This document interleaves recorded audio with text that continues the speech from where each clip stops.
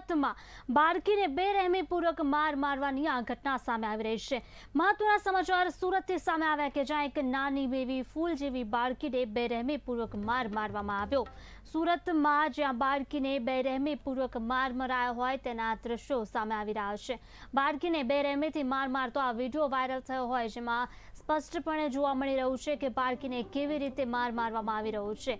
આ બાળકી જે બેરહેમીથી માર મારતો વીડિયો વાયરલ થયો, મહિલા બાળકીને ક્રૂરતાપૂર્વક માર મારી રહી છે. સુરતમાં મોટા વરાછાના સિલવાસા ટ્વિન ટાવરનો બનાવ ઘટના સીસીટીવી ફૂટેજ સોશિયલ મીડિયામાં વાયરલ થયા. તો શું આ ઘટના કોઈ મહિલા સામે કાર્યવાહી થશે કે નહીં તેવા અનેક સવાલો ઉઠી રહ્યા છે. બાળકી સાથે આ પ્રકારની ઘટના કેટલી યોગ્ય છે?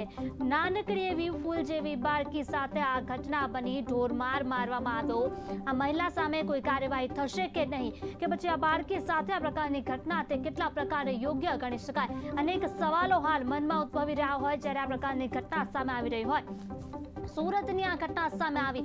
સુરતમાં દિવસે ને દિવસે અનેક આતંકોના જે સામે આવતા હોય છે સમાચાર, ત્યારે આ પ્રકારનો બનાવ સામે આવો તો તે એક અલગ જ વાત છે. કારણ કે એક બાળકી જે ફૂલ જેવી કુમળ બાળકી હોય તેને આ પ્રકારે માર મારવામાં આવી રહ્યો છે. આ વીડિયો હવે સોશિયલ મીડિયામાં વાયરલ થઈ રહ્યો છે. તેના સીસીટીવી વીડિયો સામે આવી રહ્યા છે.